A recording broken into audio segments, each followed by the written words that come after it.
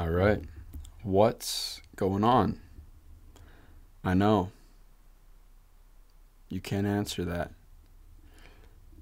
In episode, I believe it's episode 8 of Forbidden Authenticity Within, I'm going to be diving into the work of Dr. Joseph Sheehan, who is I believe I am the reincarnation of him. Like, up until about six months ago, I had no idea who he was. And I built all my teachings on stuttering just through my own through my own evolution. And then I read his work like six months uh six months ago, and I was like, holy fuck, this guy, like 95% of what he says, I also think, and I've and I've also said, and people have disagreed with me on, and I've been kicked out of face and I've been kicked out of Facebook groups for, and I've been banned in places because I share these ideas about stu- about stu- about stuttering, and I never knew someone else thought this way, and it felt really great to see. It felt really great, yeah, to see that another person um, has had these thoughts, and another person who I don't know if he may be the biggest person who the person who has made the biggest impact to people who stutter. Um, I didn't know how I didn't know about him, but now I do. And I want to share eight um, really big, really big con, really big concepts that he shares about people who stutter, and the and the and the and the treatment of helping people who stutter um, from his book, his book called um, "Stuttering Research and Therapy" by Dr. Joseph Sheehan. So, yes, I'll be covering these eight really profound concepts that will hit you in your soul if you're a person who stutters or if you are a speech therapist. And also, I'll be answering three questions that I got in from guests. So, I'll be answering that at the end of this video. If you have any questions that you want to ask me, then there's a link in the description of this video. You can ask me any questions, whether it be about stuttering, whether it be about sexual dysfunction, whether it be about any type of interpersonal disorder that you're facing, um, or anything really, and you want to get my opinion on it, or just share something, do that down below. I love to answer your guys' questions, and we got some fucking good ones today. So let's begin with profound idea number one. And this one needs a little bit of back talking. Maybe that's the wrong word. This one needs a little bit, I need to say, talk a little bit before I share this one because it's, it was a longer thing. So Dr. Joseph Sheehan in his book or in, or in his pay, or in his or in his paper, he was he he was sharing that stu- that stuttering is primarily a role disorder, which means you don't stutter in all roles in your life. When you're in a room by yourself, you don't stutter or you barely stutter at all. When you're at when you're at when you're acting and you're in a play, if you're a person who stutters and you take on that fluent person role in that play, guess what? You don't you don't stutter. It's pretty fucking crazy, hey? And he gives an a he gives an example of how this is such a role disorder. And I'll read you the a I'll read you the example right now. He says to cite another example, one stutterer reported that he had always spoken fluently with his landlady, whom he knew quite well in the landlady role. She was unaware that he stuttered and had no conception of the magnitude of difficulty in some situations. The, the, the revelation came when she took a temporary position as a, as a registrar of voters and he had to give his name, address, and vital and vital statistics about himself to her as she occupied that new status. He reported that she was astonished and so embarrassed that it was a most difficult situation for him. After she relinquished the registrar role, he again saw her in the landlady role, and he was able to explain to her again quite fluently what had happened. There was no evident transfer of difficulty from the registrar listener role back to the landlady listener role. So what what he's showing here is this person who stutters, he spoke to this lady who had the role of landlady to him for I don't know how long, but he would never stutter with her. She never knew that he stuttered. The moment she uh, she occupied temper just temporarily a different role as the registrar of voters, he struggled and stuttered a lot while speaking to her in that new role that she occupied. The same person, different role. And then when she went back to the landlady role, he again could speak quite fluently with her. Isn't that fucking crazy? Like it makes sense knowing what I know about stutter about stuttering, but it's still fucking like that's crazy, is it not? Because it really just shows how malleable i don't know if that's the right word how malleable or what can really change your stutter. And um, dr joseph sheehan this is also why he says like you do not stutter to the person you stutter to the role that person is temporarily uh, is temporarily occupying and at the same time to the role that you are uh, the role that you are uh, the role that you are occupying.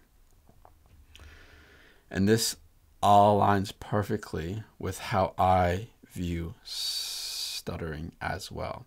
As i say I don't know what episode it was. It might have been five or four, where I said why you stutter.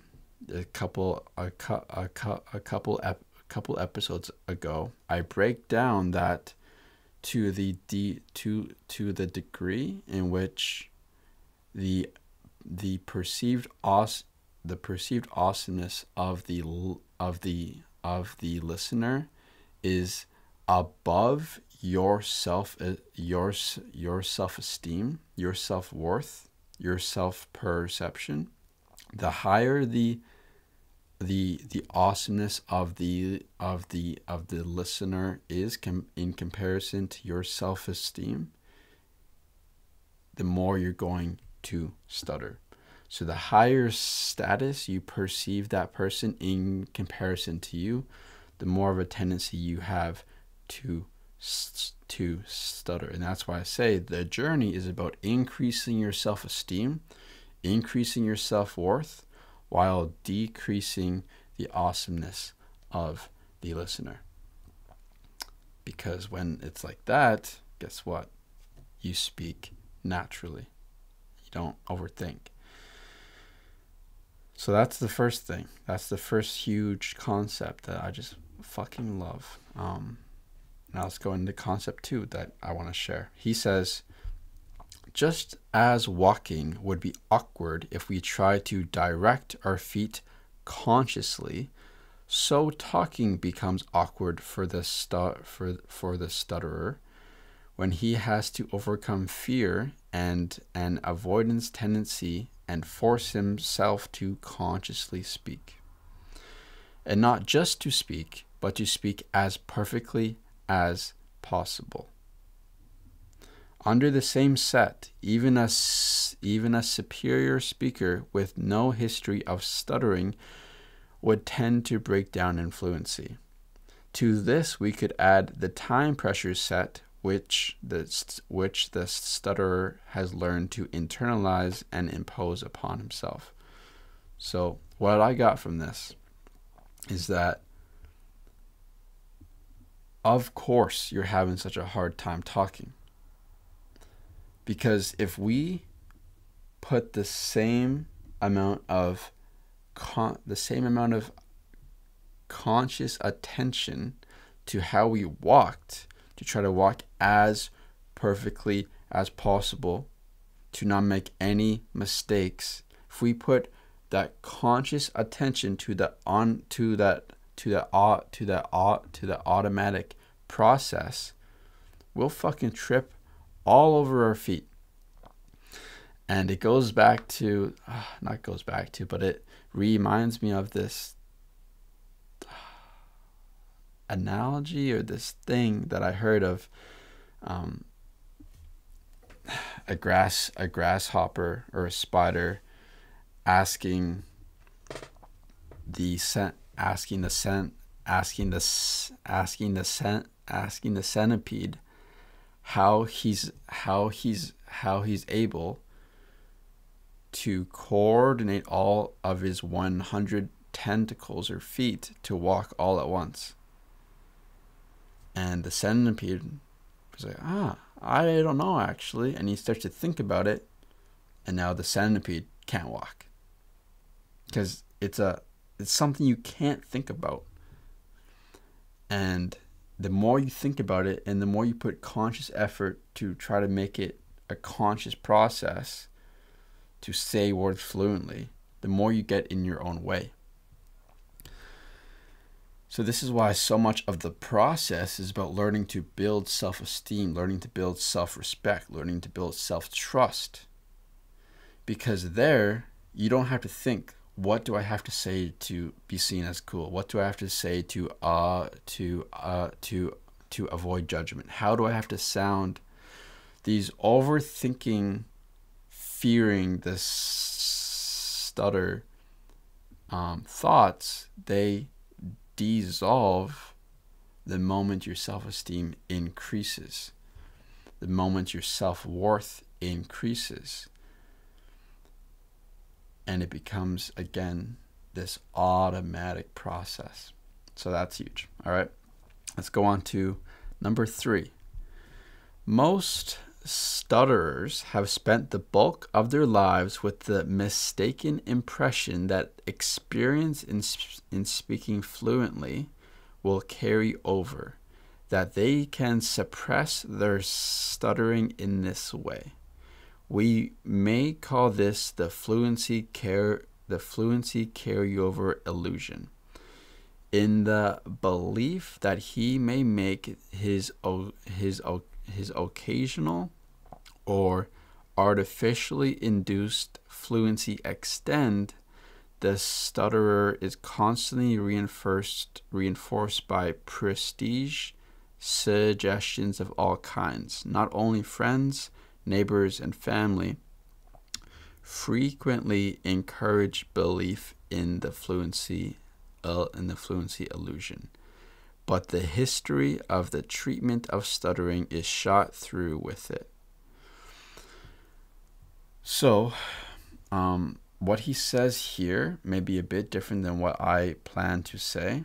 You can take what you want from what I just said there, or what I what what I what I think he's he's saying here is that the moments of of fluency that you have we trick ourselves to think that we can just always be this fluent if we suppress the stutter. So if we have these fluent if we have these fluent moments, we think we can just keep speaking fluently if we if we if we avoid the stutter. And if we and if we and if we suppress the stutter. And family members and friends and past therapies they may su- they may su- they may suggest this as well saying like see look how look how look how fluently you're speaking. You can just can you can just can you can just can continue with this. But what i want to share of, about this is a controversial belief that I've had forever since the beginning of time.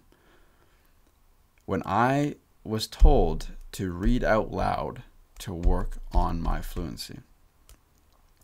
The dumbest shit ever because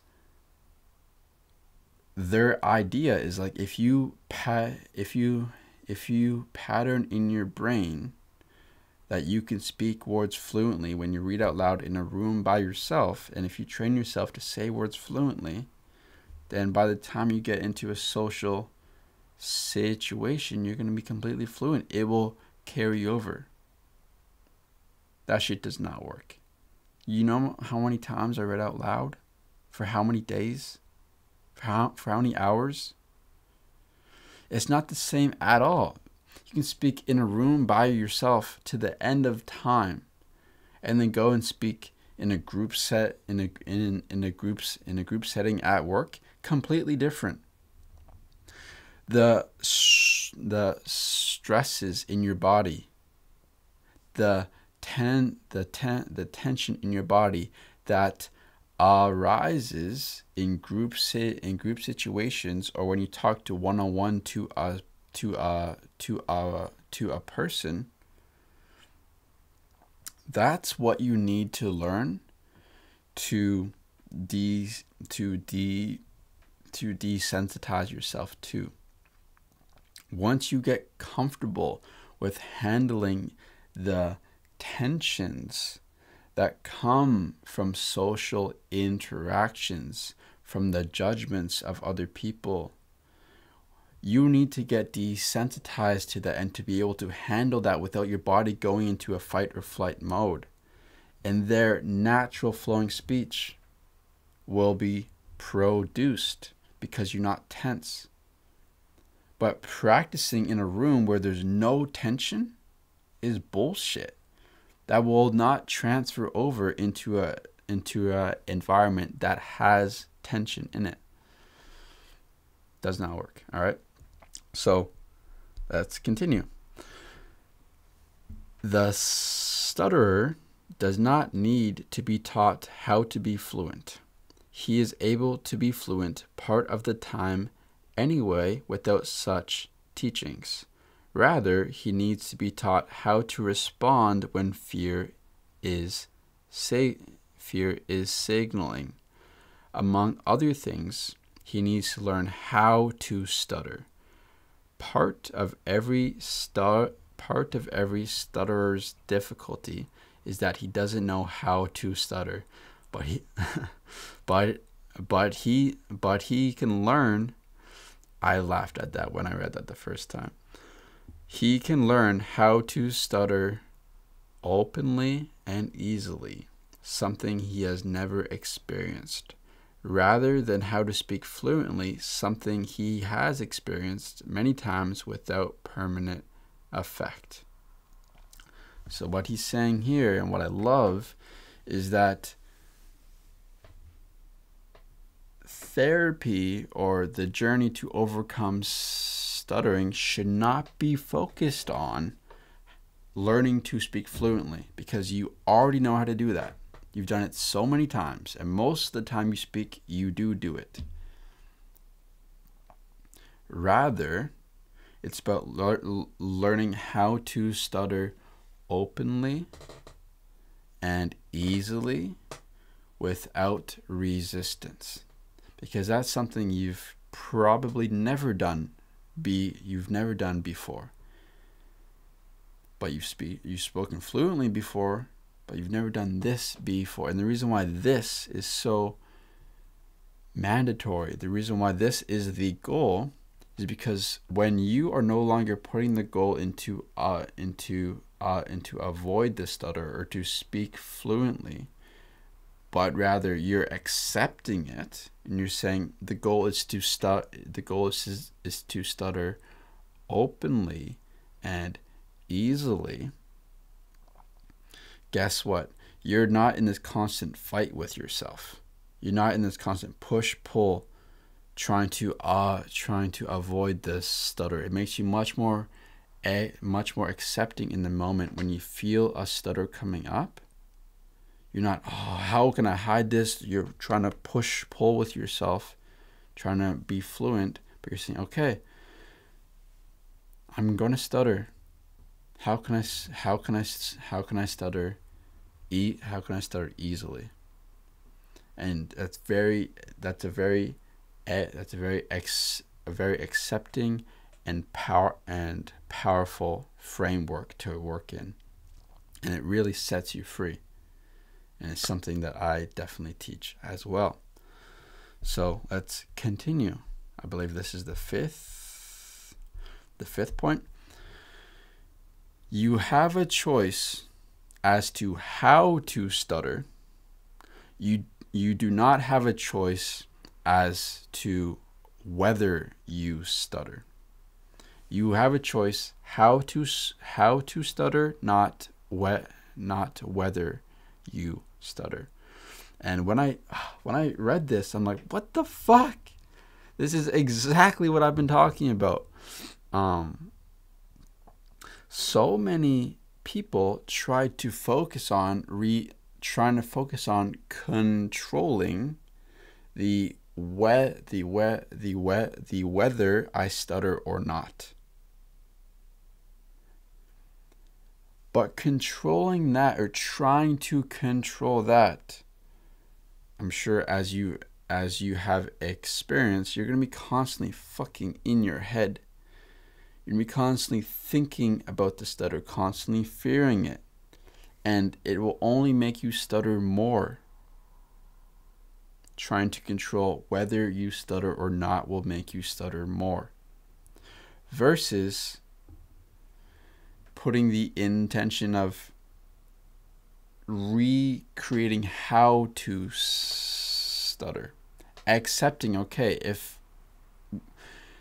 the stutter if it comes up or not is out of my is out of my control right now it's a byproduct of the tension in my body all right i'm just gonna i'm just gonna eh, i'm just gonna accept that if i try to if i try to control that i'm only to cause more tension in the body which will cause more stu- more st- more stuttering. Okay, I'm not controlling whether I stutter or not. I'm going to put my intention of creating this uh, ple- of creating a ple- of creating a pleasurable experience to stutter when it comes out. And then you're not in resistance with yourself. Then you're aligned with yourself and you're able to stutter freely, not cause this a not cause this exhaustion in the body because you're constantly forcing and stressing and you learn to reduce the shame and reduce the embarrassment because you're not trying to hide it. You're not trying to hide it anymore. All right? Huge huge huge huge.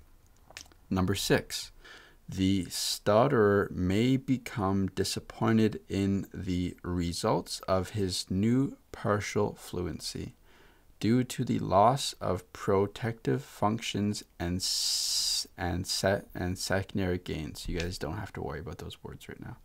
And secondary gains. He finds that he is not a giant in chains, but an ordinary more an ordinary more an ordinary mortal who has many other limitations which have been obscured by his stu- by his stu- by his stuttering along with some of his capabilities. He discovers that there are two ways to be disappointed in life. One way is to not get what you wish for, the other way is to get it. So, what he's talking about here is that many people who stutter feel like a giant in chains they feel like this really grand person that if they just remove the chains, if they remove this stutter, oh wow, they're gonna be so fucking amazing. An example that is very fucking deep that I want to share with a past client of mine that I've shared a few times before, and it's uh, you're gonna love it or hate it. But is one of the first clients that I worked with. We were doing super, super well. He was not caring if he stuttered or not. And we are on like week six, and he was also becoming very, very fluent. Not that that was the goal, but it's just a byproduct of learning to not give such a fuck and learning to raise your self esteem.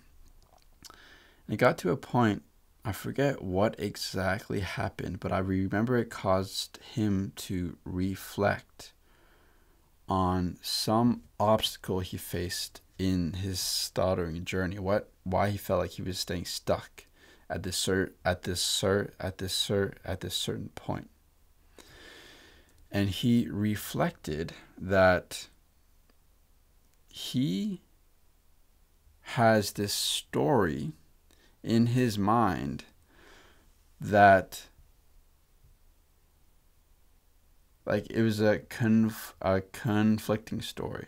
One story was like if if if I stop stuttering, I'm going to be extremely great. The other story is that what if I'm still a loser? Or the other fear. Not I'm not saying he was a loser. He was not a loser. He was a professor of psychology in a university actually. He was really fucking great. Um and he he said, "What if I over I completely overcome this and I realize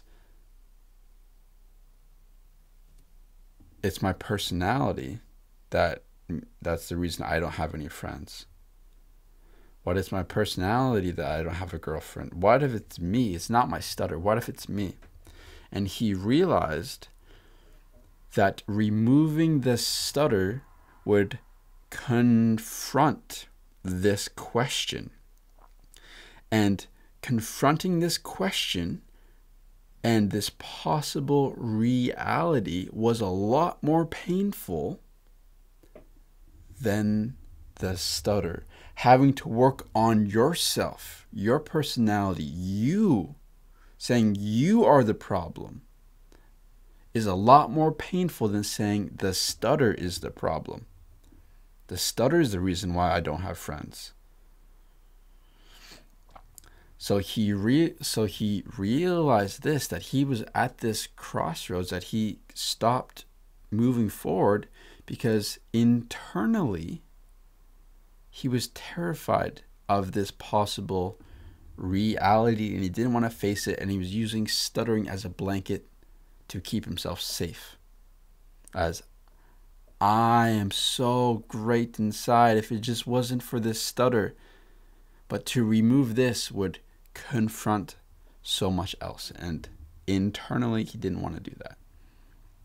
That was a huge fucking breakthrough that we had. And um, what Joe, what Joseph Sheehan says is, um, you're not this giant in change, this giant in chains. You're not. Um, but star, but star, but stuttering makes you think that you are. And this is also why I say if you just become fluent in one day, you're going to think of in the next two weeks, you're going to think of another reason why you're not enough. You're going to think, you're going to find another part about you that isn't enough that will hold you back until you deal with the root fucking issue. All right, that I've talked about lots before. So you're not a giant in chains, period. Let's continue. I believe seven.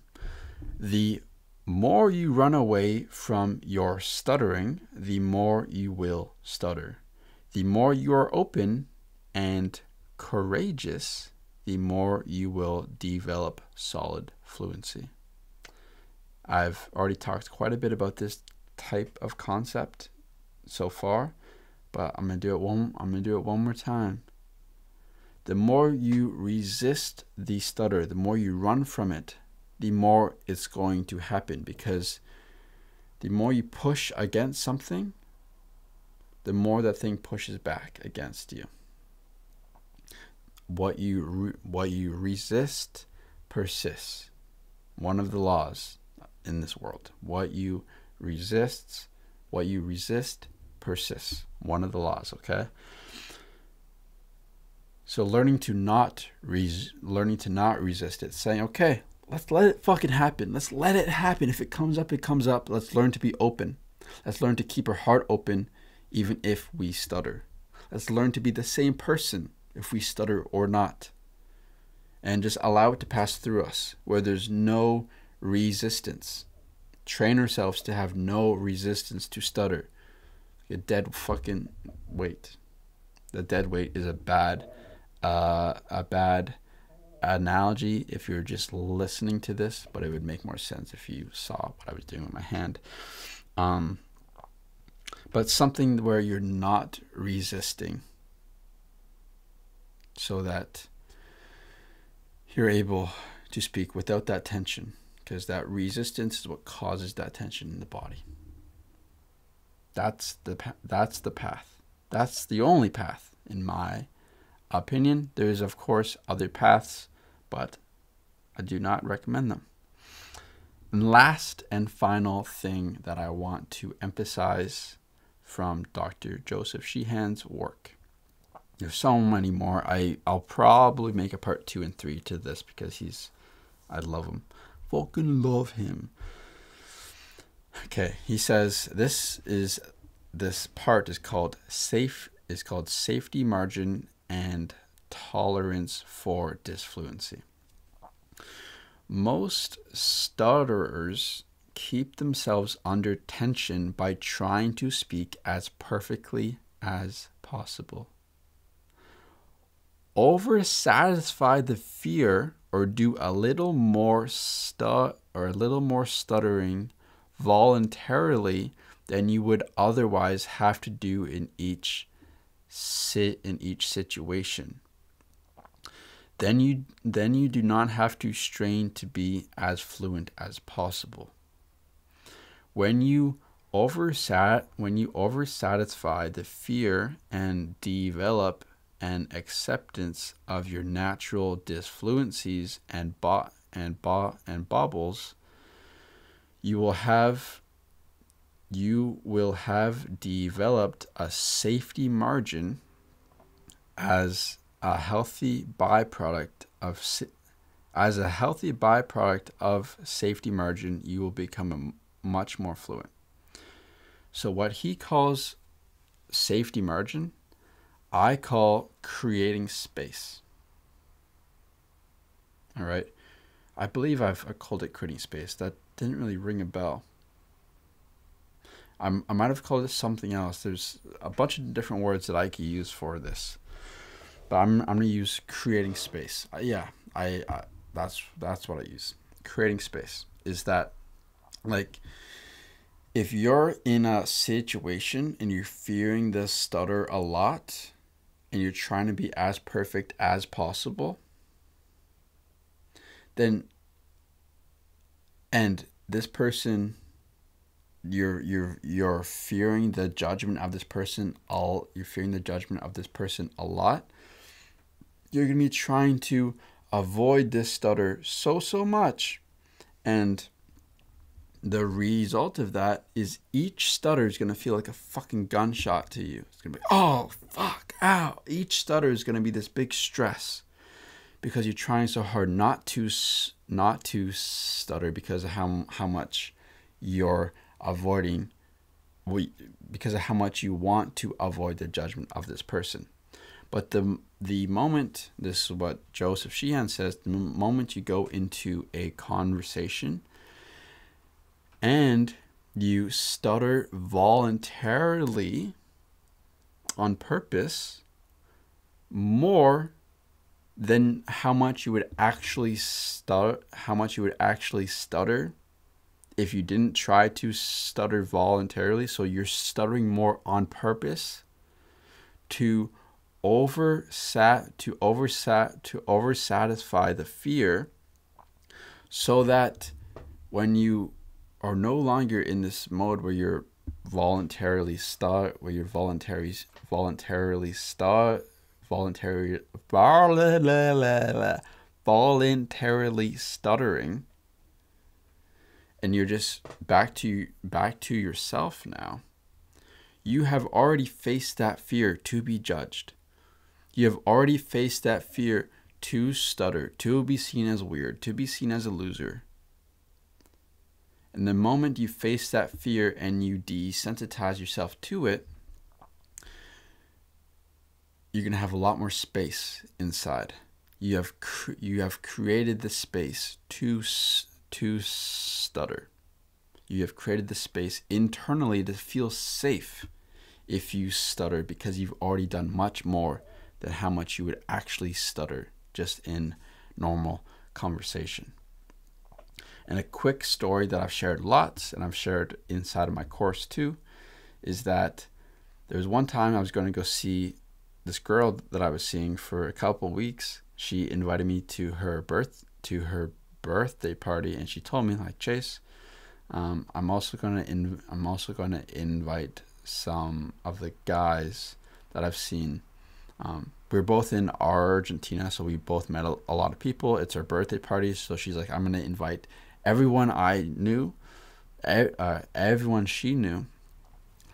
And she's like, just so you know, some guys that I've seen in the past will also be coming. And it's going to be at a restaurant, blah, blah, blah. And in my head, I'm like, you couldn't have created a more challenging environment for me.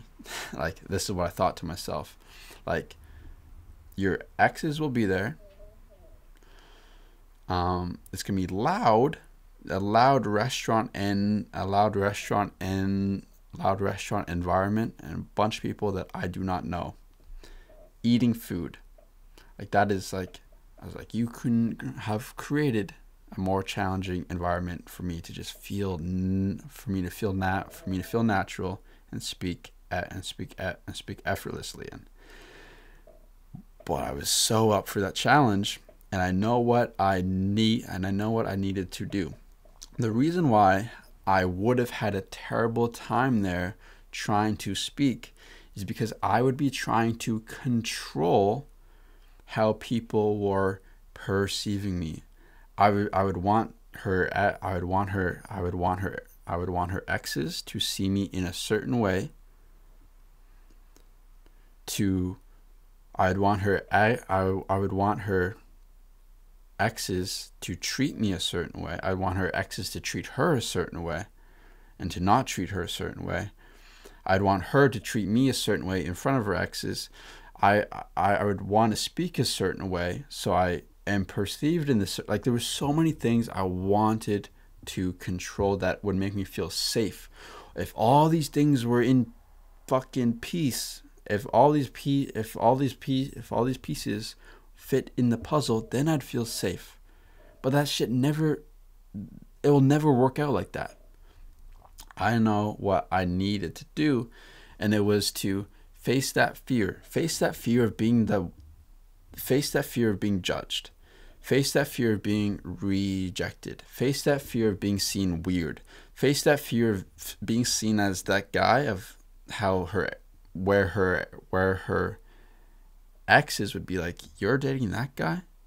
Face that fear of like being that loser and that weirdo and over satisfy that fear. So by the time it got, so when it got to the time to speak, I've already oversat, I've already, I've already oversat, over satisfied the fear and done so, got so much more judgment that a simple stutter couldn't possibly equate to the same level of judgment that I'd get for what I just did. So it'll make more sense. What I did is when I first saw them, I, I went up to the table, I gave them a nod, hey, And they're like, oh, Chase, you're here. I walked 10 feet to the middle of the restaurant where all the waiters and waitresses were walking by. I dropped down into 10 slow push ups. I got back up. I walked to the table. I was like, yo, what's up, guys? Only one person asked me what I did. The rest were just like funny. But for me, that was fucking terrifying. That was fucking terrifying to do because of how everyone at that table was going to judge me. But the moment I did it and I proved to my brain I did not die, judgment did not kill me, I can stop trying to control how everyone's perceiving me because I faced that fear and I realized I didn't die. I'm still here and people don't give a fuck. This was my most beautiful social night, at least top five of my life.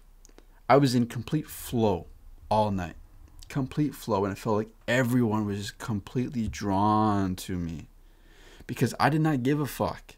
Because I already felt that fear I already de- I already de- I already desensitized myself to that fear. So I wasn't thinking don't stutter because I already knew I, I wouldn't die. I felt safe. I felt like I had so much space to stutter and be free. So guess what?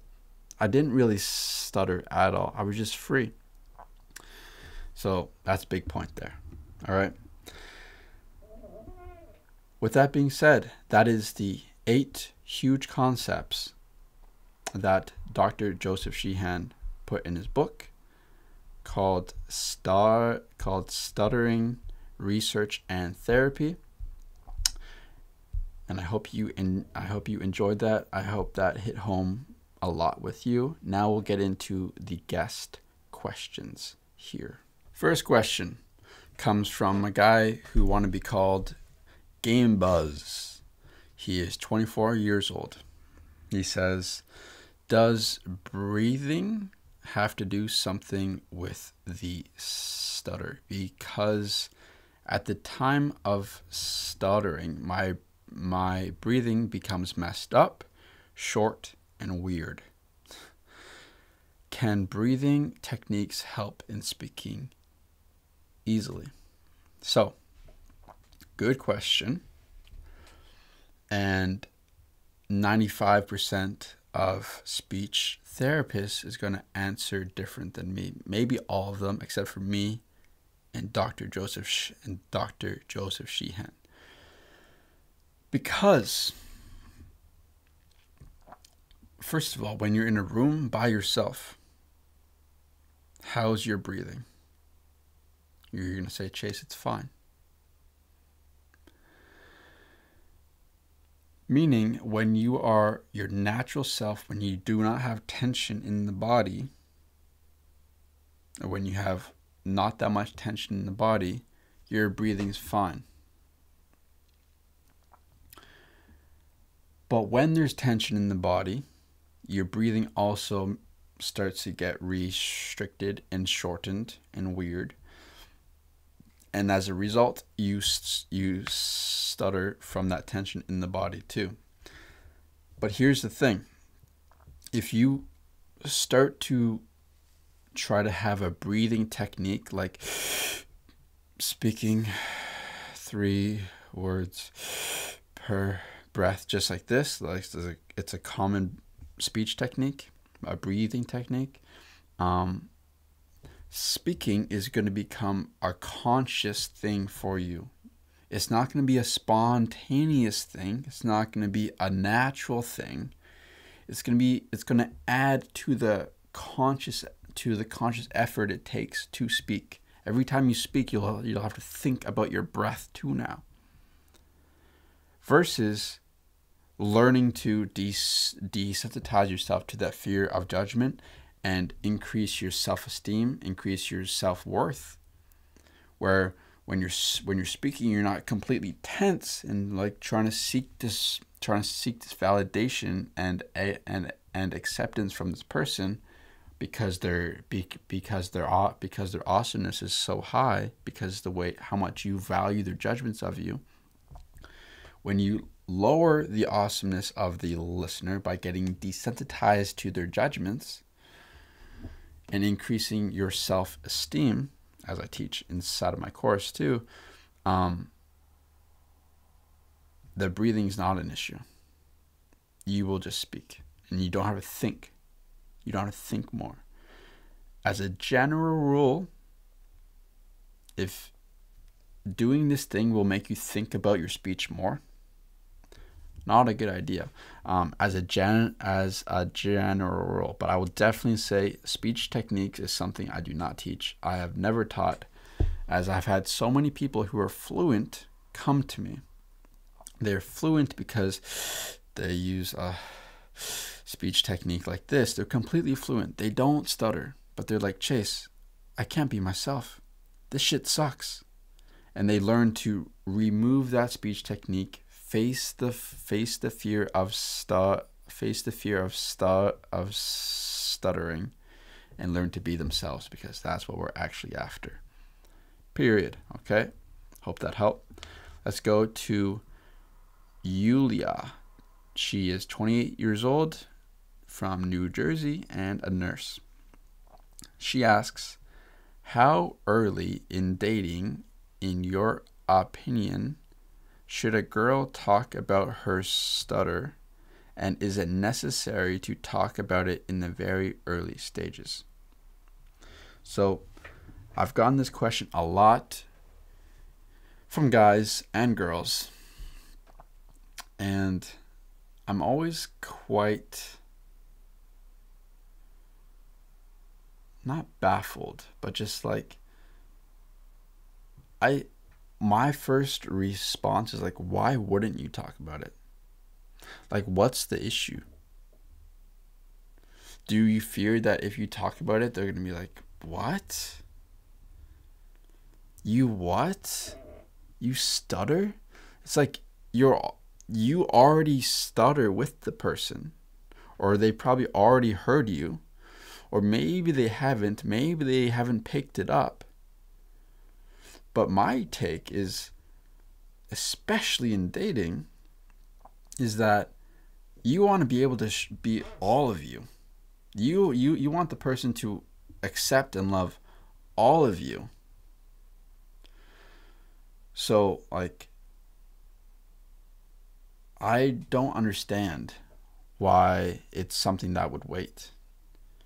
I know for me, it's not something that I forced out at all. I'm like, I have to tell you this, like just so you know, just so you know that I stutter. I'm not saying like you you have to go and do it right off the bat, but if it comes up to your mind, be like, oh yeah, I don't know if you have noticed yet, but I stutter. Or when when I would tell people, it's usually like if I were caught in that block, or if if I were not in the past few years. I don't think I've had like a serious block in a few years but in the past, if I were to stutter or eat, like even now, I, I tell my dates.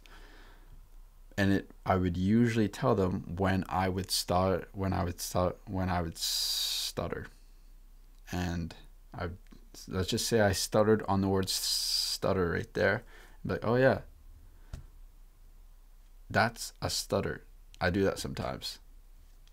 Like done it's never a big deal. It's never something I have to rush out, and um, I don't I don't actually understand um, why it's a big deal for a lot of people. I mean, I do understand because people have a lot of shame with it, and people want to hide it. But knowing the path we have to go down of being completely out, of being completely out, being completely open with it, there's really no choice. Like you kind of have to talk about it. And um, yeah, so that's what I would say, Yulia. Thank you for that question because I get it a lot. Get it a lot. And um, yeah, so just again, I would talk about it if it comes to your mind or if you stutter in the moment. Just be like, yeah, that's a stutter. I stutter sometimes. That's that's how I would like to do it. How I do it. And let's go to the and the final question comes from uh, a man named Adrian, 18 years old from Greece in culinary school.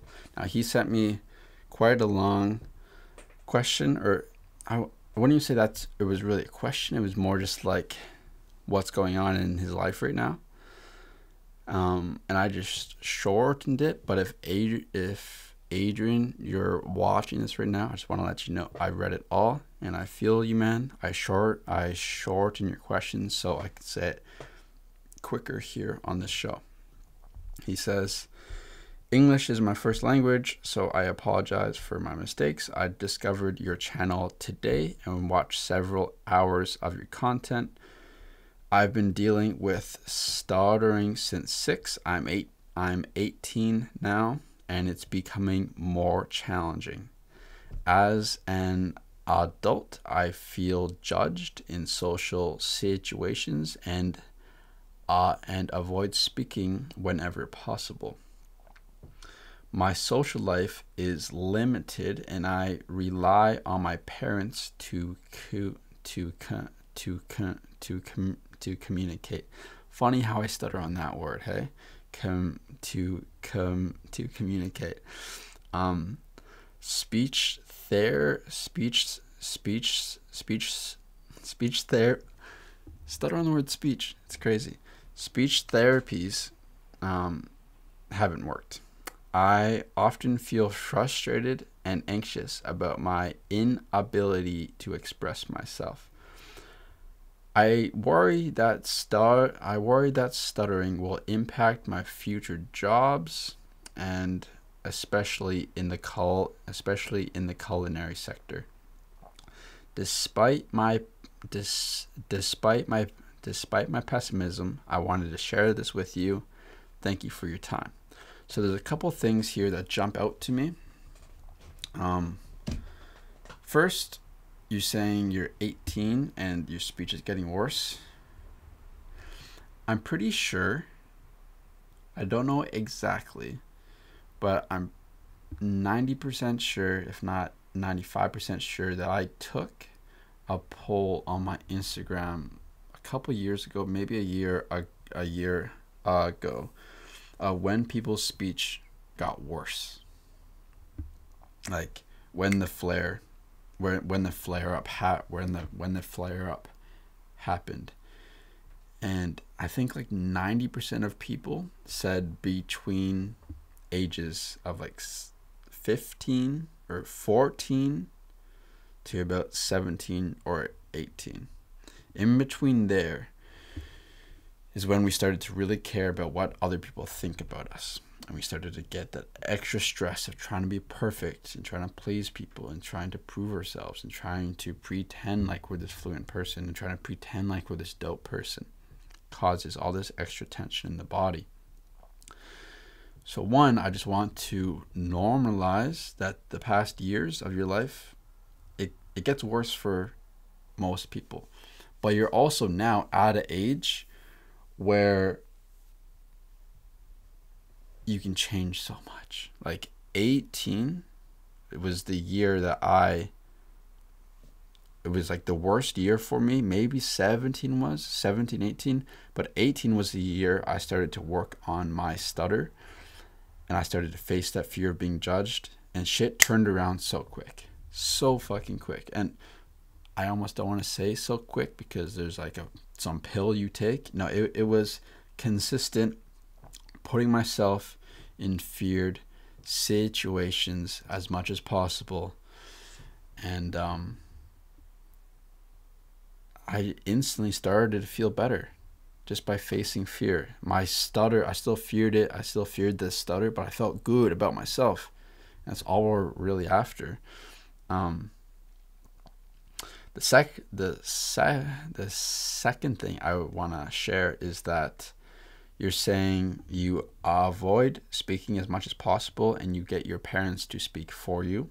In your full question you you worded it like um,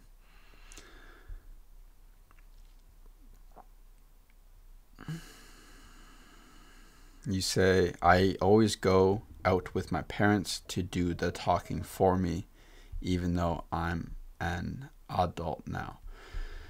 So if you are avoiding speaking and you're getting your parents to speak for you, there's absolutely no way you're going to improve in speaking. I forget who's no, I don't forget who says it. I forget her name. Be I forget her name. Um she is somebody who worked under the guy that I just talked about. Um Doc, Dr. Joseph Sheehan. This lady, uh, S and SLP, she has her own clinic. She has her own. She has her own clinic, her own clinic and stuff. She, what she says, which is maybe the thing I agree most with what she says, is is sucks is sucks successful su- successful suppression of your stutter is what maintains and perpetuates it. Successful su- successful suppression of your stutter is what maintains and perpetuates it.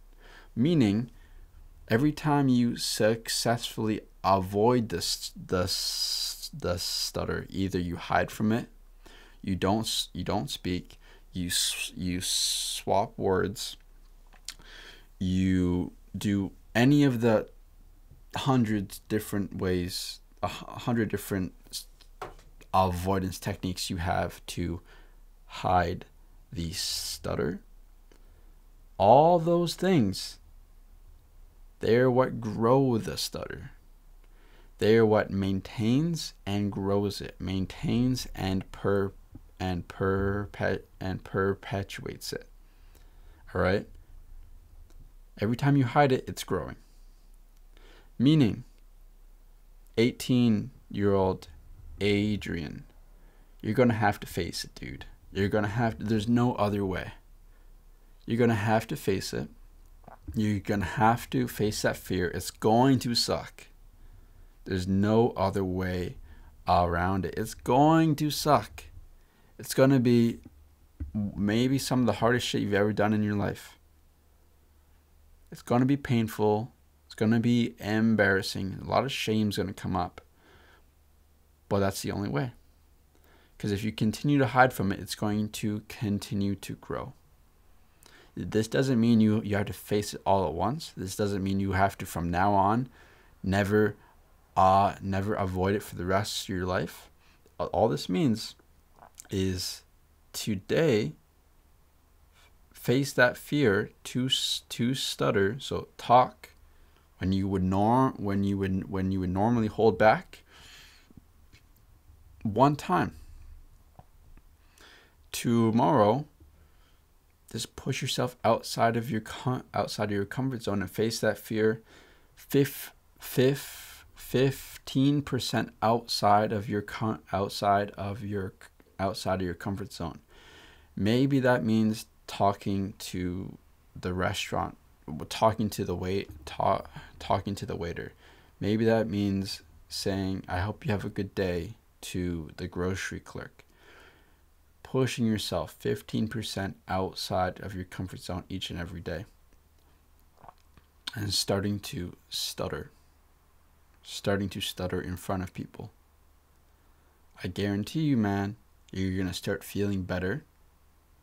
You're going to start gaining confidence and soon i wouldn't even say soon i would say and eventually that worry you have of will i be able to shout the orders shout to the kitchen about what food to make and blah blah blah in school that won't be a fear.